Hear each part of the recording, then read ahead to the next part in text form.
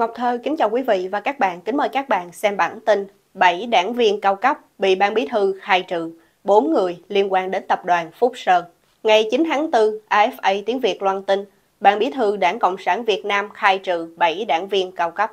Theo đó, Chủ tịch, nguyên Chủ tịch Ủy ban Nhân dân các tỉnh Vĩnh Phúc, Quảng Ngãi, Phú Yên cùng 4 viên chức cao cấp tại những địa phương này và hai tỉnh Hà Giang, Gia Lai bị Ban bí thư Đảng Cộng sản Việt Nam khai trừ do vi phạm. Hình ảnh bản tin trên AFA. Cụ thể, AFA cho hay 7 người bị khai trừ đảng mới nhất gồm Chủ tịch Ủy ban Nhân dân tỉnh Vĩnh Phúc Lê Duy Thành, Chủ tịch Ủy ban Nhân dân tỉnh Quảng Ngãi Đặng Văn Minh, nguyên Chủ tịch Ủy ban Nhân dân tỉnh Quảng Ngãi Cao Khoa, nguyên Chủ tịch Ủy ban Nhân dân tỉnh Phú Yên Phan Đình Cự, trưởng ban quản lý các khu kinh tế Dung Quốc và các khu công nghiệp tỉnh Quảng Ngãi Hà Hoàng Việt Phương, Giám đốc Sở Giáo dục Đào tạo Hà Giang Nguyễn Thế Bình, nguyên Giám đốc Sở Giáo dục Đào tạo tỉnh Gia Lai Nguyễn Tư Sơn. Theo AFA, quyết định khai trừ ra khỏi đảng đối với 7 quan chức vừa nêu do Ban Bí thư Đảng Cộng sản Việt Nam đưa ra ngày 9 tháng 4, căn cứ đề nghị của Ủy ban Kiểm tra Trung ương Đảng Cộng sản Việt Nam đưa ra. Truyền thông nhà nước cho hay trong 7 người này có 4 người, gồm ông Lê Duy Thành, ông Đặng Văn Minh, ông Cao Khoa và ông Hà Hoàng Việt Phương có liên quan đến tập đoàn Phúc Sơn. Hình ảnh những quan chức nhận hối lộ của tập đoàn Phúc Sơn. Như tin AFA đã loan, sau khi ông Nguyễn Văn Hậu, biệt danh là Hậu Pháo, chủ tịch tập đoàn Phúc Sơn bị bắt hồi cuối tháng 2 vừa qua, nhiều lãnh đạo một số tỉnh gồm Vĩnh Phúc, Quảng Ngãi, Vĩnh Long bị bắt về tội nhận hối lộ. Những quan chức lãnh đạo tỉnh bị khởi tố và bị bắt gồm Bí thư tỉnh Vĩnh Phúc, Hoàng Thị Thúy Lan, cựu Bí thư tỉnh Quảng Ngãi Lê Viết Chữ, Chủ tịch Ủy ban Nhân dân tỉnh Vĩnh Phúc Lê Duy Thành, Chủ tịch Ủy ban Nhân dân tỉnh Quảng Ngãi Đặng Văn Minh. AFA cho biết thêm, Bộ Công an Việt Nam ngày 3 tháng 4 vừa qua đã thông báo liên quan đến vụ án xảy ra tại tập đoàn Phúc Sơn. Tính đến ngày 27 tháng 3, Cơ quan Cảnh sát điều tra C03 thuộc Bộ Công an đã ra quyết định khởi tố bị can, bắt giam 17 người. Liên quan đến công cuộc đốt lò, thanh trừng nội bộ của Đảng Cộng sản Việt Nam, ngày 1 tháng 2, AFA đưa tin Đảng Cộng sản Việt Nam kỷ luật hơn 24.000 đảng viên trong năm 2023. Theo đó, trong năm 2023, Đảng Cộng sản Việt Nam đã kỷ luật 606 tổ chức đảng và 24.162 đảng viên trong công tác phòng chống tham nhũng tiêu cực trong đảng. Hình ảnh phiên tòa xét xử đại án Việt Á, một vụ án kéo theo rất nhiều quan tham vào lò.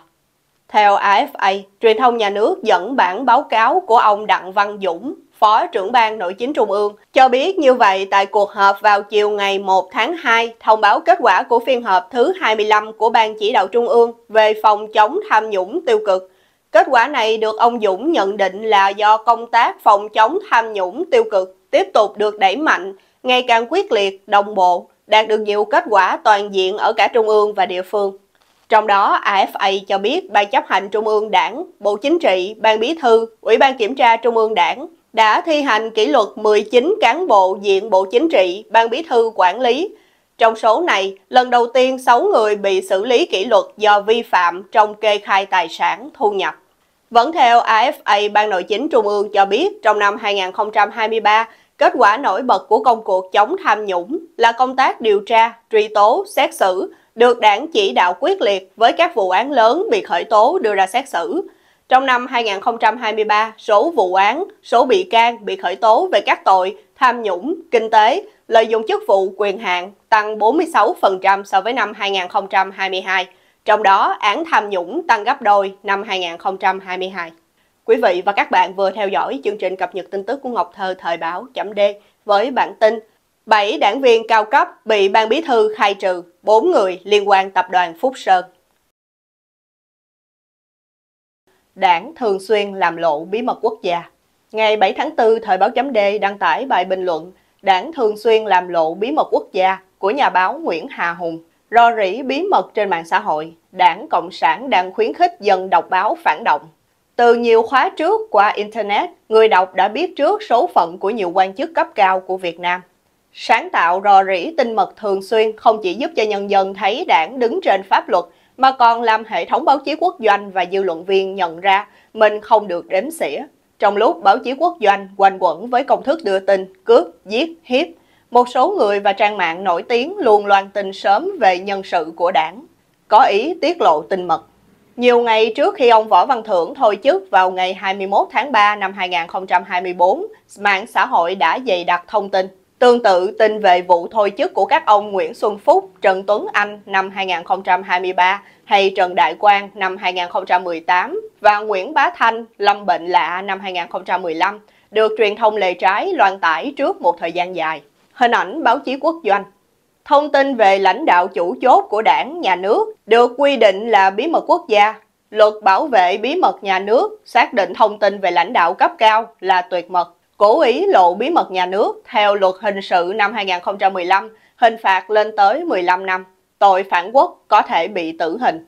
Tuy vậy, khoảng trên 10 năm nay, thông tin về lãnh đạo cấp cao, nội dung vi phạm, lịch trình đảng và quốc hội phế trúc thường xuyên bị tiết lộ trên mạng xã hội. Trước khi chính thức công bố, không có ai, tổ chức nào phải chịu trách nhiệm, không có cơ quan nào điều tra, xét xử. Không thể cho là vì sơ ý, cá nhân nào đó để lộ thông tin tuyệt mật thường xuyên, số lượng quá nhiều tin mật rò rỉ trong thời gian dài, bất chấp các hình phạt nghiêm khắc. Thực tế này củng cố giả thiết, có sự cho phép hoặc bắt nguồn từ một người hoặc một nhóm quyền lực cao nhất Đảng Cộng sản Việt Nam. Coi khinh báo chí nhà nước và dư luận viên. Những vụ việc đảo qua cho thấy toàn bộ hệ thống báo chí quốc doanh đã đứng ngoài cuộc. Nó hoàn toàn khác với những mỹ tự của đảng về vai trò báo chí cách mạng là kênh thông tin quan trọng, là phương tiện, là công cụ đắc lực giúp đảng, nhà nước trong việc lãnh đạo, quản lý, điều hành đất nước. Báo chí quốc doanh đưa tin chậm cả tuần. Vụ ông Thưởng mất chức là ví dụ gần nhất. Họ cũng tiếp tục đứng ngoài cuộc những ngày nước sôi lửa bỏng khi các bloggers đang bàn về các ứng viên tiềm năng cho vị trí chủ tịch nước. Nguyên nhân chỉ có thể là không có tin hoặc không được phép đưa tin. Hình ảnh Võ Văn Thưởng tuyên thệ nhậm chức chủ tịch nước. Với cách làm này, tương lai báo chí cách mạng Việt Nam vẫn tiếp tục đứng ngoài chầu rìa. Nếu đảng Cộng sản tiếp tục cầm quyền, họ rất biết mạng xã hội là nơi ngày càng nhiều người tìm đọc. Vì vậy, đảng vẫn tiếp tục ưu ái rò rỉ cho những người đưa tin đắc lực thực sự của họ trên mạng xã hội số phận của những kẻ làm dư luận viên cấp thấp thì hẩm hiu hơn. Họ luôn phải cố nuốt trôi những minh triết vừa rao giảng. Hôm trước, những người này còn răng dạy dân chúng, đừng tin vào bọn phản động, anh em nên đọc báo chính thống. Thì hôm sau, đảng thừa nhận tin lệ trái là sự thật. Cho rằng báo chí chính thống không thể sử dụng ngôn ngữ chợ búa, viết lách thiếu bài bản như mạng xã hội là đánh lạc hướng Cùng hoặc trước thời điểm mạng xã hội loan tải, toàn bộ hệ thống báo chí quốc doanh đã không có thông tin gì về những sự kiện chính trị quan trọng này. Chưa thấy có đảng nhà nước nào thường xuyên làm lộ bí mật quốc gia như đảng Cộng sản Việt Nam. Cũng chưa thấy có đảng nhà nước nào làm lộ bí mật quốc gia trong thời gian dài như vậy mà không chịu trách nhiệm gì trước luật pháp và nhân dân. Trên thế giới, chỉ có những quốc gia độc tài như Trung Quốc, Triều Tiên, Cuba hay Liên Xô trước đây mới có nền báo chí cách mạng. Nó không chỉ hại dân bằng những thông tin vô bổ, mà còn tiêu tốn tiền dân, tung hô những kẻ vi phạm pháp luật. Việc nhỏ mà mọi người nên làm là tích cực chia sẻ thông tin trên mạng xã hội. Làm như thế không những giúp bạn bè người thân nắm được tin tức, nó góp phần thức tỉnh những nhà báo quốc doanh và dư luận viên. Cuối cùng trong một chừng mực nào đó nó giúp cho đảng phổ biến tin mật. Quý vị và các bạn vừa theo dõi chương trình cập nhật tin tức của Ngọc Thơ thời báo chấm D với bản tin Đảng thường xuyên làm lộ bí mật quốc gia.